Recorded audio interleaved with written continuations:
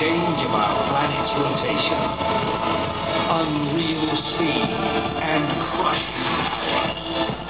Destructive elements as well as